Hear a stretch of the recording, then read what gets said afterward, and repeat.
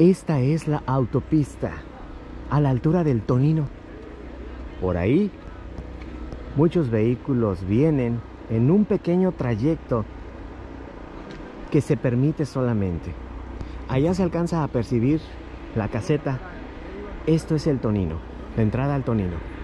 Esta es la carretera con el puente que comunica al Tonino y esa es la otra caseta donde se hace el cobro. Bueno, están ultimando detalles. No sabemos para cuándo estará lista. De El Tonino a Compostela. Pero lo que sí sabemos es que ya muchos pueden transitar por aquí para llegar a un trayecto más o menos de 15 kilómetros. Esta es la carretera que comunica al Tonino Nayarit. Desde aquí, para todos ustedes, en esta mañana de este día lunes 7 de marzo del año 2022. Así es, están trabajando aquí las personas, obviamente, pues tienen mucho trabajo por delante todavía.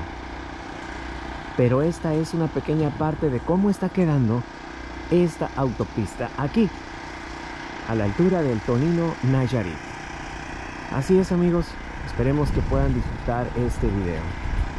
Muy contento de saludarlos a todos ustedes en esta ocasión, lunes 7 de marzo del año 2022. Me despido de ustedes en esta mañana, su amigo y servidor, Professional Voice Master. Puerto Vallarta libre, Puerto Vallarta cuota. Así, en esta autopista. Eso es todo amigos. Bendiciones para todos ustedes. Que tengan el mejor de los días. Se despide su amigo y servidor Professional Voice Master.